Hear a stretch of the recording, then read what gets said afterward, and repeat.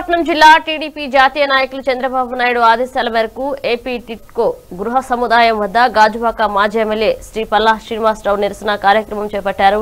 గాజువాక మండలం మంగళపాలెంలో ఉన్న టిక్కో గృహాల కోసం లక్ష రూపాయలు అప్పు చేసి డబ్బులు కట్టాం. ఫ్లాట్లు కూడా మాకు అలోట్మెంట్ చేశారు. అలాట్మెంట్ చేశారు కానీ ప్రభుత్వం నిర్మాణానికి ఆపేసింది. మా సంగతి ఏమిటి అని ప్రశ్నిస్తున్నారు. గాజువాక మాజీ ఎమ్మెల్యే పల్లా శ్రీనివాసరావు మాట్లాడుతూ కోట్ల రూపాయలు ఖర్చు చేసి నిర్మాణం చేసి ఏపీ టిట్కో గృహ సముదాయానికి ఆపివేయడం అదేవిధంగా తెలుగుదేశం ప్రభుత్వంలో ఎనభై శాతం పూర్తయిన ఇల్లు ఈ వైసీపీ ప్రభుత్వం వచ్చిన తర్వాత పూర్తిగా వాటిని విస్మరించి ప్రజలకు అన్యాయం చేస్తుంది. ఎనభై శాతం పూర్తయిన ఇళ్ళని పూర్తి చేయని వైసీపీ ప్రభుత్వం నిరంకుశ పాలనకు నిదర్శనమని లబ్ధిదారులకు వైసీపీ ప్రభుత్వం న్యాయం చేయాలని డిమాండ్ చేశారు. కార్యక్రమం చేపడుతున్నామండి.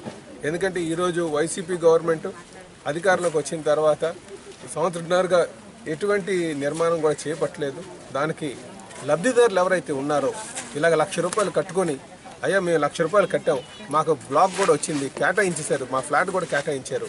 కానీ ఈరోజు చూస్తే సంవత్సరం నుంచి అసలు నిర్మాణం చేపట్టినటువంటి పరిస్థితులు ఉన్నాయి. మేము గవర్నమెంట్ కట్టిన దానికి ఇంట్రెస్ట్లు కట్టుకున్నాం కట్టుకుంటున్న పరిస్థితి వస్తుంది. ఒక్కసి రెంట్ కట్టుకుంటున్నాం ఒక్కసి మేము కట్టినటువంటి ప్రభుత్వానికి కట్టినటువంటి డబ్బులకి ఇంట్రెస్ట్ కట్టాల్సినటువంటి పరిస్థితి ఉంది. చాలా ఇబ్బందిగా ఉందని చెప్పేసి వాళ్ళు వచ్చి మా దగ్గరికి వాపోతుంటే ఈరోజు మేము ఈ సముదాయానికి వచ్చి చూస్తున్నాం. చూస్తే ఎంత బాధగా ఉందంటే ఇన్ని వేల కోట్లు ఇలాగ వృధా చేస్తున్నారు. మీరు చూస్తే ట్రాన్స్ఫార్మర్స్ అక్కడ చూడండి ట్రాన్స్ఫార్మర్స్ అలాగే ఉన్నాయి. అలాగే పైప్ లైన్స్ అలాగే ఉన్నాయి. అలాగే వాటర్ క్లోజర్స్ అలాగే ఉన్నాయి. డోర్స్ కూడా అలా పడేసి ఈ డెక్కింగ్ ఐరన్ డెక్కింగ్ అలాగే పెట్టేసి ఉన్నారు. ఈ డెక్కింగ్ ఎంతకాలం ఉంటుంది? ఈ స్టీల్ ఎంత ఎంతకాలం ఉంటుందో నాకు అర్థం కానటువంటి పరిస్థితి ఉంది.